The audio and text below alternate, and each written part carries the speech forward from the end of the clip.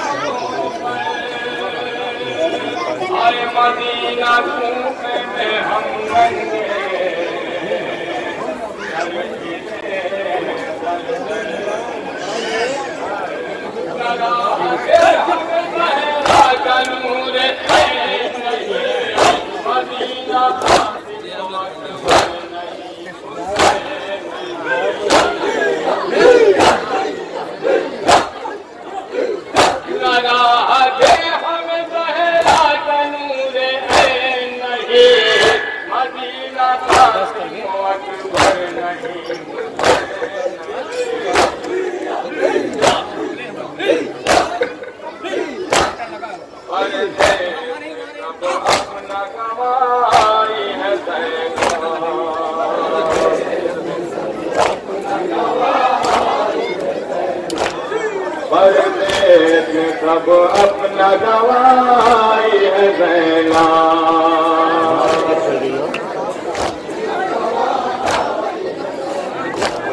تو بات میں یہ تاغیر تنگائی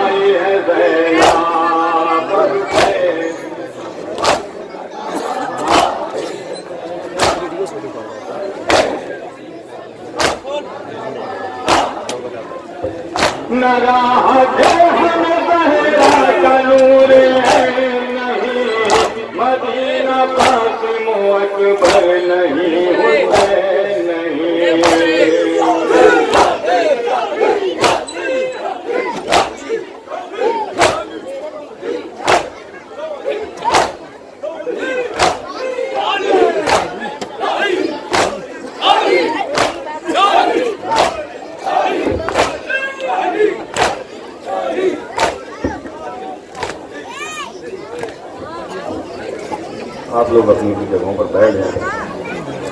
مائک آپریٹر ذرا مائک تھوڑا قاعدے سے چلاؤ بھائی مائک آپریٹر سے یہ درخواست ہے ذرا مائک ذرا اچھی طرح سے کر دو۔ آپ حضرات اپنی اپنی جگہوں پر تصویر رکھیں۔ جہاں تقریر ہونے جا رہی ہے۔ خالی جناب مولانا۔ محمد آدم نبی صاحب آپ حضرات اجتماع کے اپنی اپنی جگہوں پر بیٹھ جائیں خاص پر بیٹھ کر کربلا کے ساتھ مشینوں کا ماتم کرنا ہے۔ شرمائیے نہ خاص پہ بیٹھتے ہوئے اپنی اپنی جگہوں میں بیٹھ جائیں آپ حضرات مل جل کر خاندان زہرا پر بہت بلندہ نعرے تلواتے ہیں آپ۔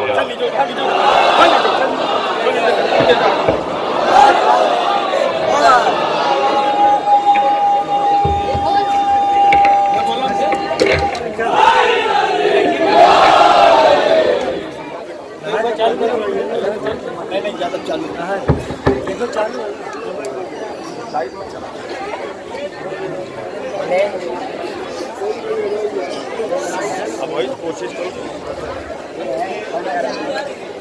لا حول ولا قوت الا باللہ العلی العظیم۔ بسم اللہ الرحمن الرحیم۔ قال امام حسین علیہ السلام انا قتیل الابرا سوگوارا نے مظلوم کربلا ماتم دارا نے سید اس کا غم منانے کے لیے بیٹھے ہیں کہ جس کا مقتل سے جنازہ لانے والا کوئی نہ تھا حسین نے اکتھر جنازے اٹھائے لیکن حسین کا جنازہ اٹھانے والا کوئی نہ تھا اس مظلوم حسین نے کہا، انا قتیل الابرا، مجھے رولا رولا کے قتل کیا گیا۔ سگوارو بی بی زہرہ نے کائنات کی شہزادی نے آپ سے کچھ نہیں مانگا۔ مانگا ہے تو آپ کی آنکھوں کا آنسو مانگا ہے۔ اس لیے کہ جب بھی آپ روتے ہیں، ہماری مائے بہنیں میرے سامنے ہیں، میرے بھائی سامنے ہیں، جوان سلامت رہیں مائے بہنوں کے سروں پہ ردائے قائم رہیں۔ جب بھی زہرا مجلس میں آتی ہے، واپس جاتی ہے، تو حسین بڑی حسرت سے پوچھتی ہے اممہ میرے ادادار آئے تھے ہاں میرے لال آئے تھے اممہ میرا مسائب ہو رہا تھا تو رو رہے تھے۔ ہاں میرے لال بہت رو رہے تھے۔ حسین کہتے اممہ پھر جلدی سے ان اشکوں کو میرے زخموں پر لگا دو۔ سکون ملتا ہے حسین کو۔ جو حضرات وہاں کھڑے ان سے گزارش ہے کہ یا تو بیٹھ جائیں، یا تو قریب آ جائیں۔ اس زمین پہ بیٹھتے ہوئے شرمائیے نا آپ کا زمین پہ بیٹھنا اس بات کی دلیل ہے کہ کسی کا گھر اجڑ گیا ہے۔ کوئی برباد ہو گیا ہے، کوئی یتیم ہو گیا ہے۔ سوگوارو آپ کو معلوم ہے کربلا مولا میں حسین نے خواب دیکھا۔ کیا دیکھا؟ اکبر کو بلایا، میرے لال اکبر میرے قریب آؤ۔ اکبر میں نے خواب دیکھا ہے۔ بابا کیا دیکھا ہے؟ کہ اکبر میں نے دیکھا ہے کہ خون کا دریا ہے۔ اس میں تیرا بابا کمر کے برابر ڈوب چکا ہے۔ اب میں نہیں جانتا کہ برسا آپ کیسے پیش کریں گے۔ حسین کمر کے برابر ڈوب چکا ہے۔ تیرے بابا کی کمر ٹوٹ چکی ہے، تیرے بابا کا بایاں بازو کٹ گیا ہے، تیرے بابا کا بایاں داہنا بازو بھی کٹ گیا ہے۔ اکبر نے کہا، بابا، یہ خون کا دریا کیا ہے؟ حسین نے کہا، میرے لال، یہ عرض کربلا ہے۔ کہا، بابا، یہ آپ کی کمر کون ہے؟ کہا، میرا بھیا عباس ہے۔ کہا، بابا، یہ آپ کا بایاں بازو کون ہے؟ کہا، میرا لال قاسم ہے۔ اکبر نے کہا، بابا، آپ کا داہنا بازو کون ہے؟ حسین نے کہا، اکبر، آئے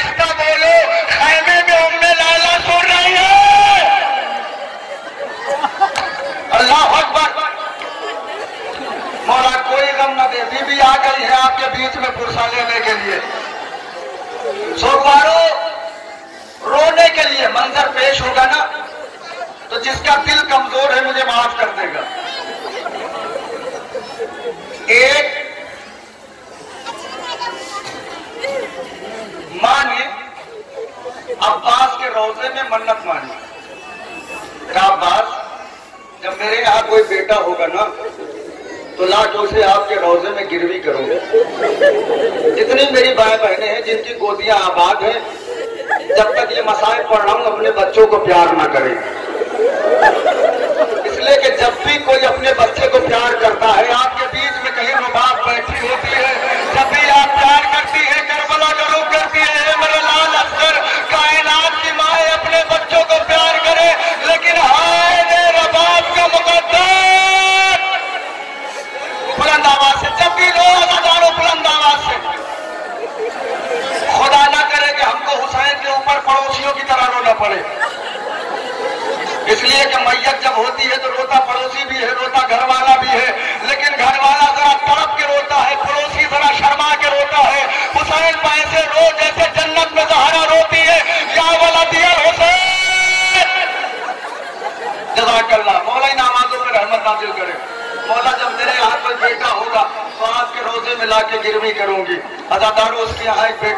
ہوگا جن کی اولاد نہیں ہے، جن کی گوشت سونی ہے، وہ اس مسائل کو سن رہی ہے دعا مانگ لے گے، انشاءاللہ اگلے سال تک ان کی آبول بھر جائے گی۔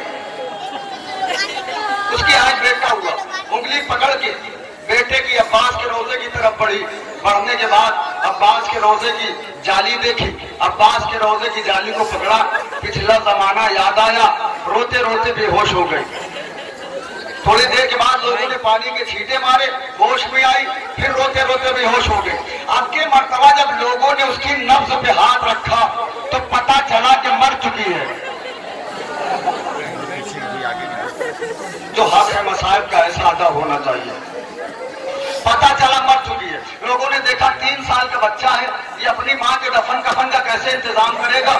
لہذا لوگوں نے کہا کہ اس کے لیے چندہ کرو، اس کے کفن کے لیے چندہ کرو۔ سوکوانو آپ کا کلیجہ نہیں پھٹا۔ کوئی مسلمان مر جائے تو ہم چندہ کر کے مسلمان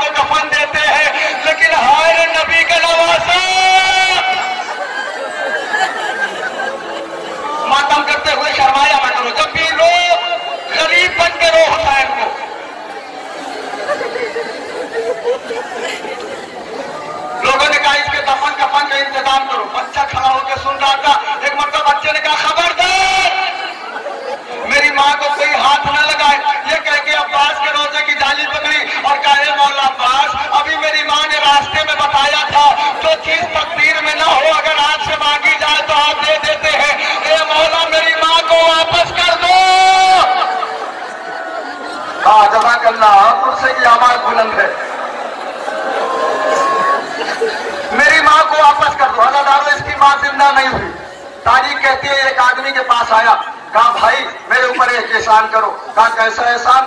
کہا، مجھے نجف کا راستہ بتا دو۔ جو ہائے کر کرے رو رہے ہیں۔ مولا ان کی ہائے کو قبول کرے۔ مولا ان کے جوانوں کو سلامت رکھے۔ مولا انہیں سال بھر آباد رکھے۔ مجھے نجف کا راستہ بتا دو۔ اس نے پوچھا، نجف جا کے کیا کرو گے؟ کہا، عباس کے بابا سے شکایت کروں گا۔ عباس نے میری ماں کو لے لیا ہے، واپس نہیں کر یہ بچہ ننے ننے قدموں سے دوڑتا ہوا نجف کی جانب جا رہا تھا، کیا دیکھا؟ راستے میں ایک سوار آیا۔ اب بھی جاؤ روتے روتے تو اس مسائل کا حق ادا نہیں ہوگا۔ سوار نے آگے کہا، میرے لال، کہاں جا رہا ہے؟ بچے نے کہا، میرے پاس وقت ہے، مجھے جانے دو۔ میں نجف جا رہا ہوں۔ نجف کیوں جا رہا؟ ہوں کہا، عباس کے بابا سے شکایت کرنے۔ عباس نے میری ماں کو لے لیا ہے، واپس نہیں کر رہے۔ سوار نے کہا، میرے لال نجف نہ جا روزے میں جا کے دیکھ، تیری ماں زندہ ہو گئی۔ اور ہم سوچ رہے تھے کہ ماتم ہونے لگے گا اسی پہ۔ روزے میں جا کے دیکھ، تیری ماں زندہ ہو گئی ہے۔ بچے نے کہا یہ سوار، میں کیسے مانوں کہ تو صحیح کہہ رہا ہے؟ سوار نے کہا ہاں میرے گھوڑے پہ بیٹھ جا۔ روزے میں چل کے تجھے دکھا دوں، تیری ماں زندہ ہو گئی ہے۔ بچے نے کہا یہ سوار تو کہ تیرا گھوڑا بہت بڑا ہے، میرا اپنے ہاتھوں سے اٹھاؤ اپنے گھوڑے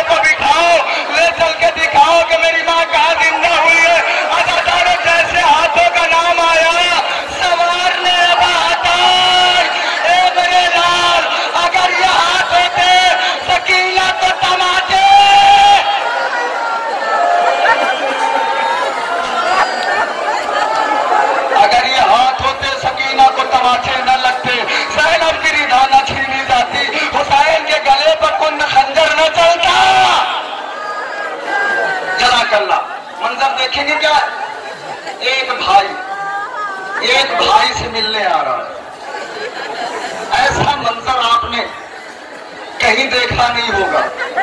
سلجنا اور علم کا ملنا آپ کو معلوم ہے، عباس اکبر کی شہادت دیکھ چکے، قاسم کے ٹکڑوں کو دیکھ چکے۔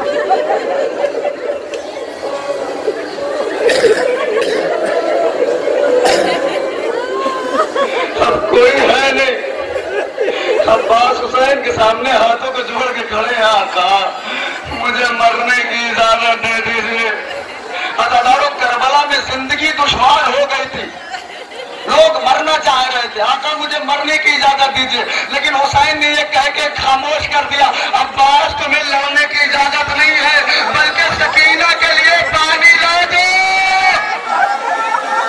ایسے ہی رو کے استقبال کریں گے آپ علم آ رہا ہے سلجھنا آ رہا ہے آپ ملیں گے یہ علم اور سلجھنا نہ سمجھیے گا ایک طرف سے حسین بڑھ رہے ہیں ایک طرف سے عباس بڑھ رہے ہیں عباس اور حسین آئے ملنے لگے دونوں جب ملے بھائی ختم ہو گیا وائے حسین آ! جزاک اللہ جزاک اللہ ایسے ہی پرشا پیش ہونا چاہیے۔ اداکارو یہ زلجنا وہ ہے کہ جب حسین پشتے فرس پٹک بگا رہے تھے، تو زلجنا نے حسین سے کہا، مولا، اگر آپ کہیں تو آپ کو آپ کی قتل گاہ تک پہنچا دو۔ حسین نے کہا، اے زلجنا تو تو جانور ہے، تجھے کیسے پتا چلا کہ میری قتل گاہ کہاں پہ ہے؟ تو زلجنا نے جملہ کہا تھا، آقا نہ چلتا، بلکہ شب عاشور ایک نقاب پوش بیوی آئی تھی۔ اس نے میری رسیوں کو کھولا تھا۔ کہا زلجنا میرے پیچھے پیچھے آ جا۔ میں پیچھے پیچھے گیا۔ بیوی ایک نشے میں لے گئی اور کہا، اے زلجنا یہی میرا لال حسین گرے گا جب گھوڑے سے گرنے لگے تو ذرا اپنے گھٹنوں کو دیکھ دینا جزاک اللہ بلند آواز سے پرسہ پیش کریں گے آپ۔ بی بی ایک ایک کے بیچ میں آ گئی ہے رومال لینے کے لیے۔ پھر آپ اسی خاک پر بیٹھ جائیں۔ حسین کی غربت کا پرسہ دینے کے لیے۔ حسین غریب ہو گیا ہے نا۔ حسین اتنا غریب ہو گیا ہے کیا حسین کو کوئی سلام بھی نہیں کرتا۔ سگواروں حسین کی غربت کا یہ عالم ہے۔ کہ حسین کو کوئی سلام نہیں کر رہا ہے۔ اداداروں جب کسی کے ہاں کوئی حادثہ ہو جاتا ہے ایکسیڈنٹ ہو جائے، کچھ بھی ہو جائے، تو سب سے پہلے عام لوگ بھی جاتے ہیں تو ایک بات پوچھ لیتے ہیں، بھائی کیا ہوا تھا؟ ازاداروں حسین کو صدمہ یہی تھا۔ عباس مر گئے، علی اکبر جدا ہوا۔ ہم سے کسی نے یہ بھی نہ پوچھا۔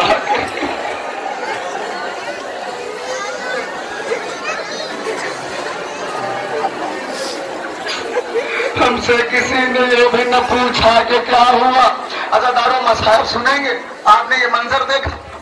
حسین سے۔ عباس نے جب اجازت مانگی، حسین نے کہا، مرنے کی اجازت نہیں، لڑنے کی اجازت نہیں۔ اجازت اتنی ہے کہ سکینہ کے لیے پانی لا دو۔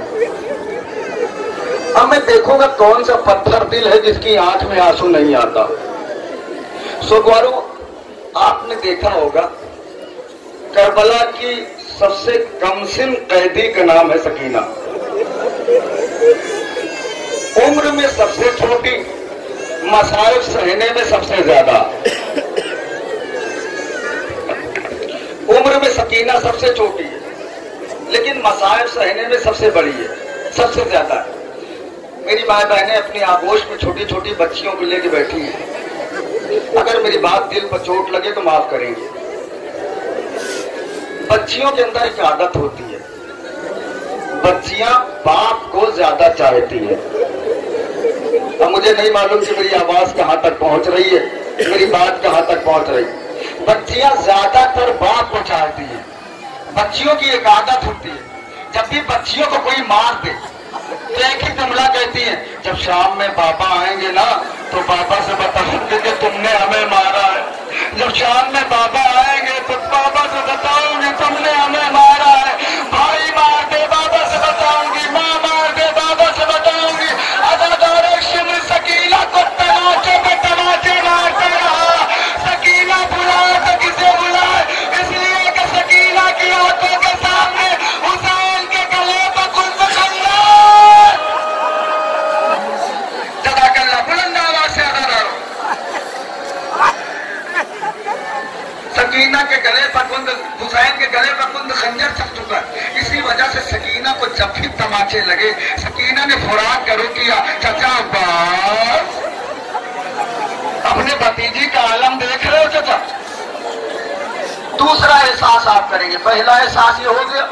دوسرا ایسا کبھی آپ نے سوچا کہ کربلا سے کوفہ اور کوفے سے شام بی بی سکینہ کے کانوں سے تازہ لہو کیوں بہتا تھا؟ میں نے مسائل پڑھ دیا، جن کو رونا تھا وہ رو لیے۔ احساس کریے گا کہ سکینہ کے کانوں تقریباً اٹھارہ سو کلومیٹر کا سفر۔ کئی مہینوں کا سفر۔ اس کے بعد سکینہ کے کانوں سے تازہ لہو کیوں بہتا تھا؟ اچھا ازاداروں آپ کو معلوم ہے کوئی زخم لگ جاتا ہے تو وہ زخم دو تین دن میں سوکھنے لگتا ہے۔ خون رک جاتا ہے، زخم بھرنے لگتا ہے۔ لیکن اچھا ازاداروں اگر وہی زخم پھر سے قریب دیا جائے۔ اگر وہی زخم پھر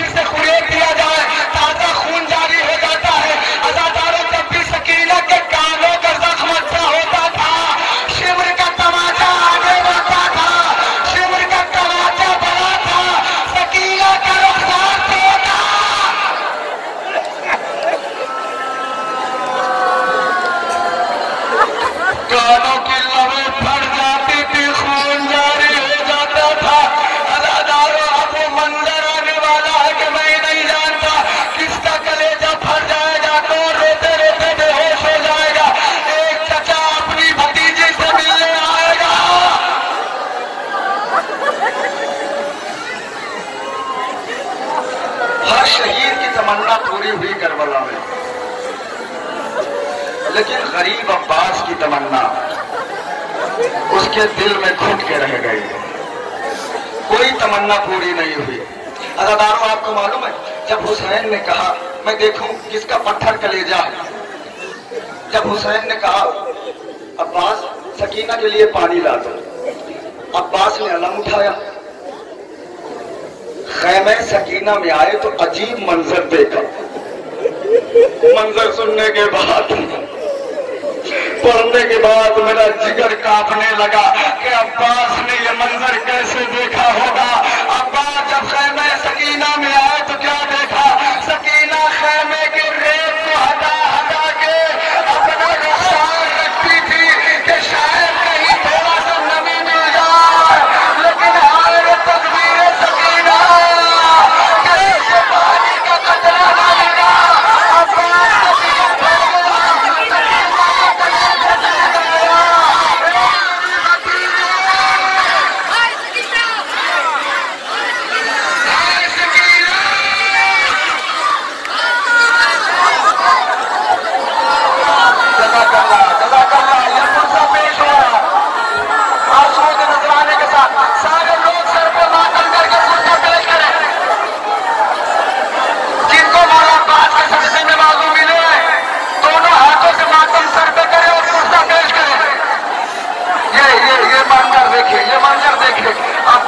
مشکیزہ اٹھا رہے ہیں۔ سکینہ سے عباس نے مشکیزہ مانگا۔ لاؤ میری بھتیجی، مجھے مشکیزہ دے دو۔ اداکاروں مشکیزہ لے کے عباس خیمے سے دریا کی طرف چلے۔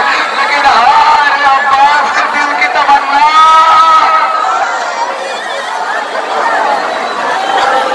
کوئی تمنا عباس کے دل کی تھوڑی نہ ہوئی سوگواروں سوگواروں تاریخ کہتی ہے کہ عباس نے۔ علم نے مشکیزہ بنا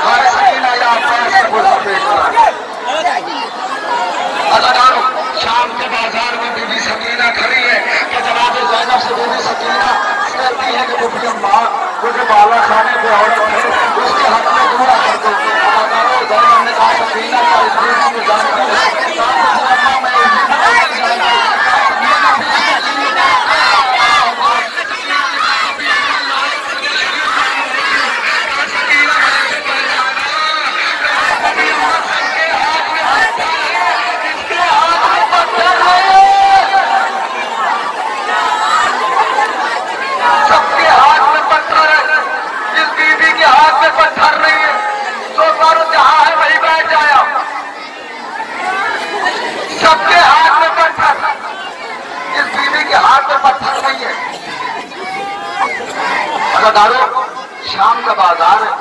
مجھے جو مسائل پڑھنا تھا، وہ پڑھنے کے لیے میں نے آپ کو بٹھایا۔ بس زیادہ زیادہ تاریخ کہتی ہے کہ انہیں بیویوں میں ایک بیوی ہی بیٹھی ہوئی جس کے ہاتھ میں پتھر نہیں تھا۔ اس نے نیچے سر جھکا کے کہا ایک بہتیوں جلدی جلدی گزر جاؤ، اس لیے کہ مجھ سے یہ منظر دیکھا نہیں جاتا۔ جیسے اس نے کہا، یہ تیزی میں گزر جاؤں نیچے سے سید سجاد نے کہا، رہانا! اگر دنیا نے ہمیں قیدی کہہ کے بلایا تو کوئی بات نہیں۔ ریحانہ تم نے بھی ہمیں قیدی سمجھا۔ جیسے سجاد نے اسیدی کا نام لیا، وہ بھی بھی دور کے نیچے آئی۔ آنے کے بعد تنیز سے کہا کہ غضب ہو گیا۔ کہا، کیا ہوا؟ کہا، آج قیدی نے ہرے بازار میں میرا وہ نام لے کے بلایا ہے، جو نام میرے مولا علی نے رکھا تھا۔ میں نے کہا، جس کو عباس کے سبقے میں بازو ملے ہیں، دونوں ہاتھوں کے سر پہ ماتم کر کے پرسہ پیش کریں جو نام میرے مولا علی نے رکھا تھا، وہ نام یا تو میرا مولا علی جانتا تھا، یا تو علی کے خاندان والے جانتے تھے، یا تو میرا بابا جانتا تھا۔ ایک کام کر، جا کے ان سے پوچھ کے آ کہ یہ قیدی کہاں کے رہنے والے ہیں؟ وہ دور کی آئی کنیز سجاد کے پاس ہاتھوں کو جوڑا، کہا کہ یہ قیدی، میری مالکن نے پوچھا ہے، تم کہاں کے رہنے والے ہو؟ سجاد نے کہا، پیچھے میری پھوپھی ہے۔ جملہ میں نے پڑھ دیا۔ سجاد لگا پیچھے میری ٹھٹی موجود ہے، اس سے پوچھ لو ہم کہاں کے رہنے والے ہیں۔ وہ دوڑ کے آئی بی زینب کے پاس۔ کہا، بیوی، میری شہزادی نے پوچھا ہے تم کہاں کی رہنے والی ہو؟ زینب نے کہا، اگر تیری شہزادی کو یہ پتا کرنا ہے ہم کہاں کے رہنے والے ہیں، تو اس سے کہتے بازار میں چل کے آ جا۔ اس سے کہتے بازار میں چل کے آ جا۔ اس نے کہا یہ بی میری شہزادی مدینے کے سیدوں کی تمیز ہے، بازار میں نہیں آتی۔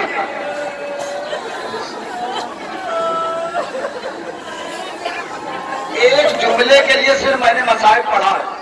اور سب کی چیز اگر اس مسائب پہ نہ نکلی، تو کوئی فائدہ نہیں ہے مسائب کا۔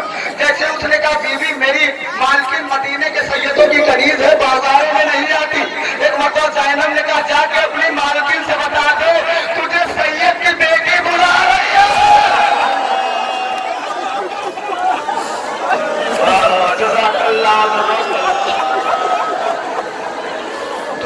شریعت کی بیٹی بلا رہی ہے۔ اداداروں یہ دور کی آئی اپنی مالکن کے پاس کہا مالکن غضب ہو گیا کہا کیا ہوا؟ کہا ایک بی بی نے کہا، تجھے سید کی بیٹی بلا رہی ہے۔ اداداروں نے ہانا نے لفظ سید سنا، جگر کا اپنے لگا۔ کیا اثر پر کاٹا ڈالی؟ دور کی آئی زینب کے پاس، ہاتھوں کو جوڑا کہا بی میری شہزادی نے منع کیا ہے کہ زیادہ دیر بازاروں میں نہ رہا کرو۔ بیوی بتا دو تم کہا کی ہو۔ زینب نے سر جھتا کے کہا، ہم مدینے کے رہنے والے ہیں۔ فرصہ اسی پہ پیش ہوگا، ایک سے ڈیڑھ منٹ پر زیادہ نہیں۔ ہم مدینے کے رہنے والے ہیں۔ اس نے کہا، بیوی، یہ بتاؤ، مدینے میں کہا کی ہو؟ زینب غریب ہو گئی ہے۔ زینب تو کوئی پہچاننے والا نہیں ہے۔ کہا، بیوی، مدینے میں کہا کی ہو؟ بیگم نے کہا محلہ بنی عاشق محلہ بنی عاشق کا نام سنا ریحانہ کا دل دھڑکنے لگا کہا بی بی محلہ بنی عاشق نے کہا کہ زینب نے کہا بی بی کہاں تک بتاؤں؟ بس اتنا جان لے کہ جب سورج کی کرنے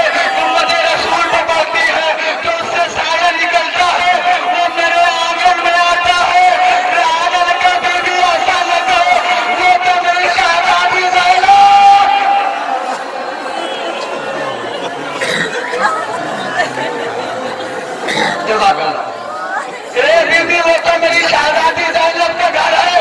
ایک بی بی، اب یہ نہ کہنا کہ میں زینب ہوں۔